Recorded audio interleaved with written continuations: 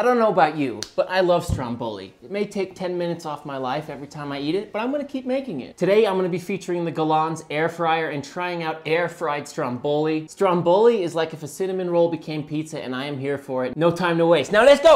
Some pizza dough. So switching to a little flour here.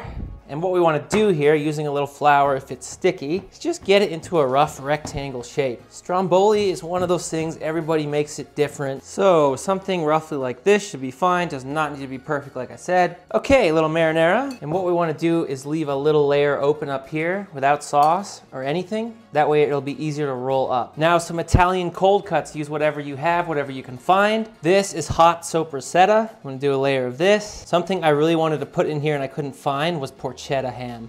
If you can get your hands on some of that, Italian ham, oh my gosh, that would be insane. I say if you're gonna make this, just go heavy do it right. Next up, some fennel salami. Same deal, just right on top. And finally, some calabrese. If I'm saying that right, I don't know. Now some low moisture mozzarella. Cheese it up. There we go. Now from this side here, just bring it up and we're literally just rolling it up bit by bit. See, that's why we left that piece on the end, so it'll make this easier. And then right about here, stop. See how everything's coming out? And now what we wanna do here is just pull up that dough and just pinch it right there so. Make sure it's really sealed so it doesn't unroll and just work your way up the whole thing. And there's your nice little stromboli. I'm just gonna poke some holes so it doesn't get huge air bubbles. Let's get this thing rocking. Air fry. I'm gonna go 375, probably about 20 minutes, but we'll set it for 25. And in she goes. That was a little tricky. Lid on. Now while this is cooking, we're gonna make an amazing garlic butter with a little chili flake, a little fresh thyme. It's gonna finish off this incredible stromboli. Pretty low heat, just melt some unsalted butter. Now, I'm gonna add some garlic in a second here. You could microplane it. I wish I could tell you where to get one of these, but it's from like a local fair.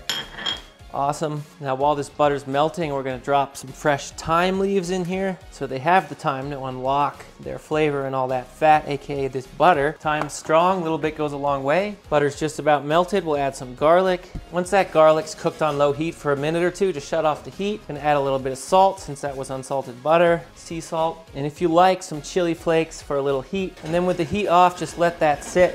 When the stromboli's done and right before serving this butter, we'll chop some fresh parsley into it. And it'll get a really cool color to go on top of the stromboli. There we go, about 22 minutes. It looks really good, like the top down heat from this air fryer is pretty crazy. Okay, here we go. Ah, and out we go. Now with our butter just a little warm, we're gonna drop in our fresh chopped Italian parsley and just let it warm up for a minute until that color really unlocks. Now just brush that butter on like you mean it. Oh my gosh. And if you want some fresh Parmigiano Reggiano on top, that'll just kind of melt on there. Such a fun thing to make. Any age group, you could be two or 200 years old, like some kind of Stromboli vampire, and you would still love this. Well, no time to waste. Oh, Lord. I mean, are you hungry yet? Oh my God, it's looking right at me. Mmm. Truly so satisfying, and you can't really mess it up. Now, let me take a brief intermission to thank today's sponsor, which is Galanz. And I was excited to share this with my audience because this is a multifunctional air fryer grill and roaster, as well as a sous vide and steamer. Pretty crazy. The whole idea with this machine was to like pack a bunch of appliances and make it into one thing, which I really love the idea of, especially for people like college students who don't have access to a lot of cooking equipment and just want one thing instead of a bunch of different appliances.